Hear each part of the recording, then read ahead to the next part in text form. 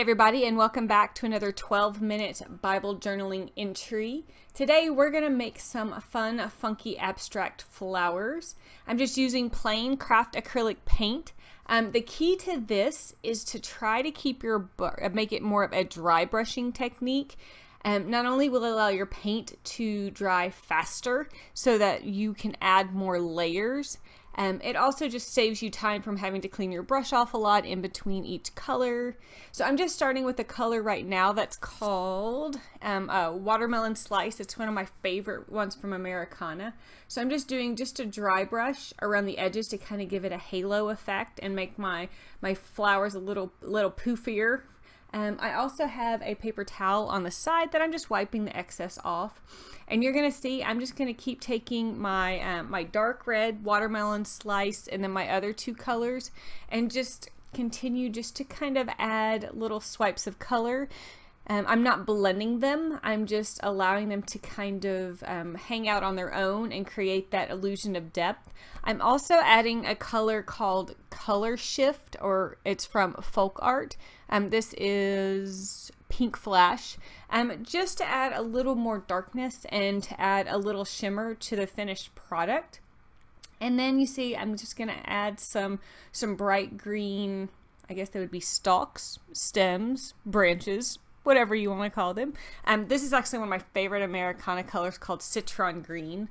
And then I'm just going to add just a little bit of a darker green onto that just to give that little bit of illusion of depth um, and that kind of stuff. I'm not trying to be super precise.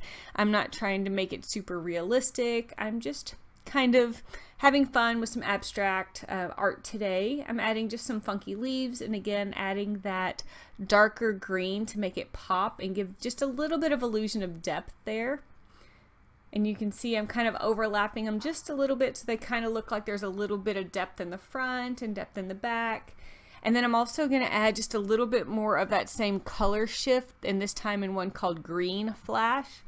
And it's more just for fun, just to add just another element of texture quickly without having to do a whole lot.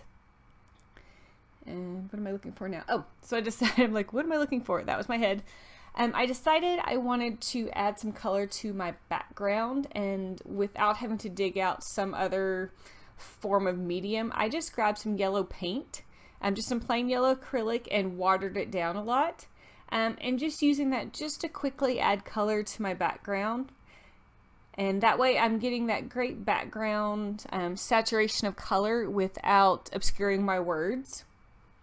My timer's going, so you can see we've got about three minutes left. Um, I'm also going to add just a little bit of that green to the background just to add that shimmer and add just depth in a couple little places. Nothing crazy, um, just kind of changing things up a little bit in the background. And then because I know I'm running out of time, I'm just applying a paper towel to it just to soak up any big chunks of water that might still be on there.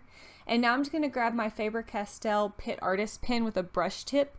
It is, let me grab it real quick. It is, what's the color? Raw Umber 180. And I'm just using that just to add a little bit more depth.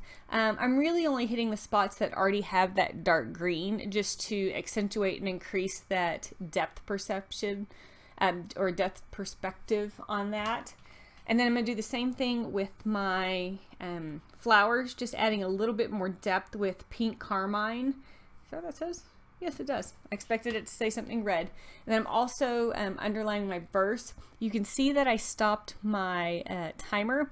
Um, so because of COVID, I am sharing my office space with hubby and he was in the middle of a phone call and so I couldn't let the timer go off. So I also added just a little title and I was done. I hope you enjoyed today's project and I look forward to the next 12 minute Bible journaling with you.